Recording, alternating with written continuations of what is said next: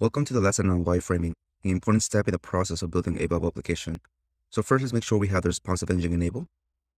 We check this by seeing if we have this blue circle on the top left corner. If you do, that means you have the old engine. So let's enable the new engine by clicking on the responsive tab and clicking upgrade responsive.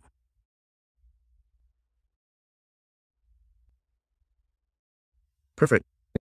Before we do any wireframe, we want to understand a little bit more about the structure of our application. So let's move over to Instagram. One way to visualize the structure of an app is by trying to find containers.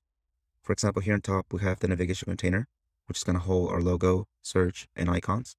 We also have a left container, which holds stories and posts, and a right container, which holds our profile and suggestions. In both the left container and right container are being held by a parent container, which is this gray area. One thing to note is that when we build, the navigation is to stick on top, like this.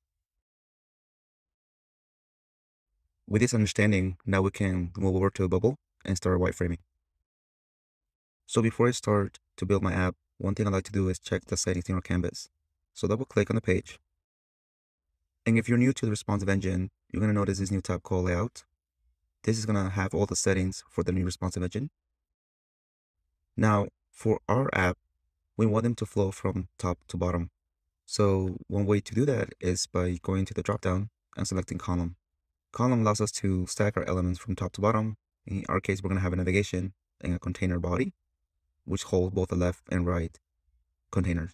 If we have selected row, it will have stuck up from left to right. So let's select column.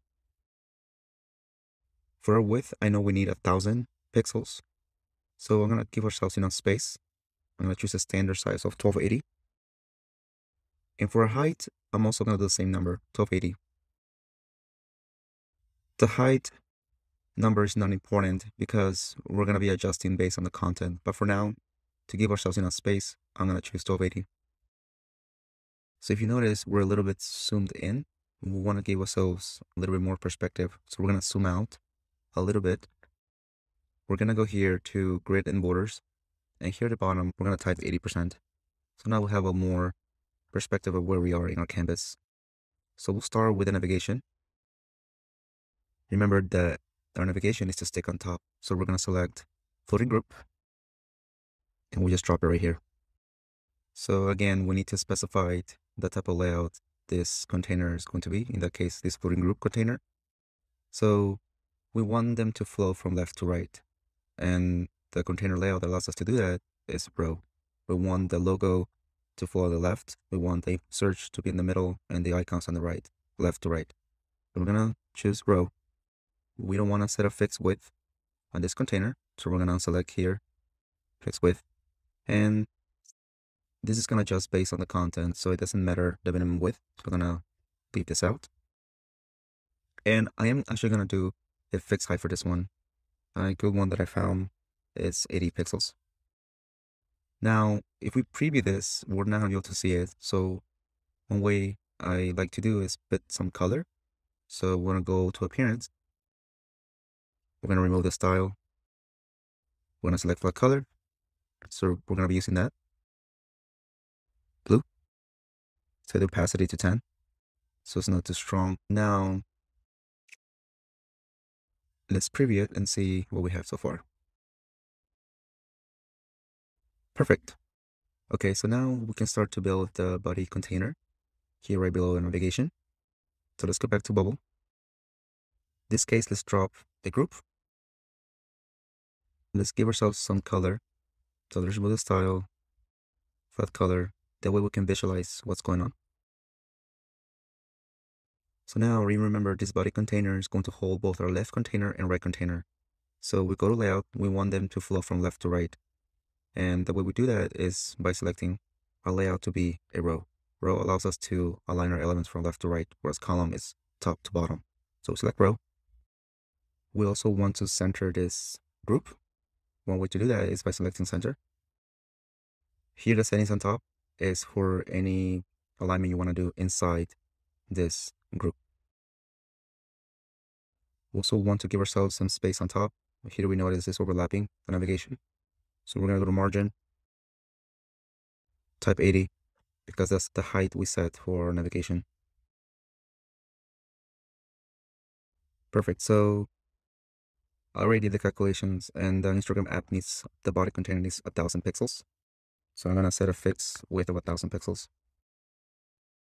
And the height uh, is gonna adjust based on the content. So for now, I'm gonna give ourselves 800, just some, just enough space for us to visualize some mock data. Perfect. So now let's go ahead and put our left container and right container. So that way we can start to put some elements for our application. I'm gonna, again, I'm gonna give ourselves some color.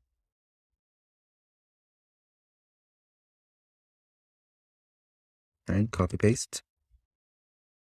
This over here, I if we go back to the app, it's a little bit bigger than this right group.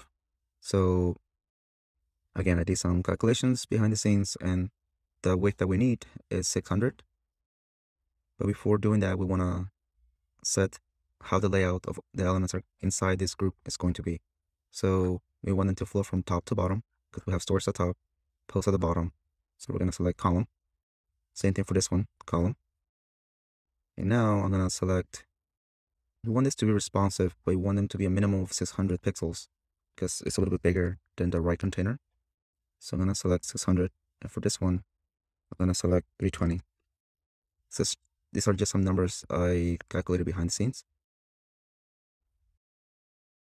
If you're really curious and want to know where these numbers are coming from, way to do that is by going to Instagram, opening Chrome DevTools. You can right click on your mouse and just click inspect. Here, you're going to go to the left and select this, select an element. This allows us to hover over the elements and actually select the container that holds all those elements. So once you select the main body container, click on it and go to Computed you're gonna see roughly what is the width for this. I set it to be a thousand just to give ourselves a more rounded number, but uh, to be more specific, it's 935. And for if we keep inspecting here, this thing called the DOM tree, we're gonna find here the left container. It's about uh, 640 pixels, but for our sake, around it, 600 pixels will be just fine. And the right mouse is about 293. I said 320 because it's a very standard number. Okay, so let's close our DevTools. Let's move over to Bubble. Now we're going to continue the wireframing and I'm going to focus here on navigation. We need three containers, one for the logo, the search, and the icons. The icons are going to be grouped together in a container. So we're going to put three containers and I want them to flow from left to right. So let's make sure this thing on top is a row. Here selected as a row. So I'm going to drop one container. Again, I'm going to give it some color I already have some predefined styles. So instead of removing the style and selecting blue, putting opacity 10, I went ahead and set a style. Here I have the label as wire. And I'm going to drop another one, select this wire. So I'm going to drop my last group, put wire. Now what, what I want is all of these containers to be spaced out evenly. If we go back to our app, they're sort of spaced out evenly. So we want that to happen for our app.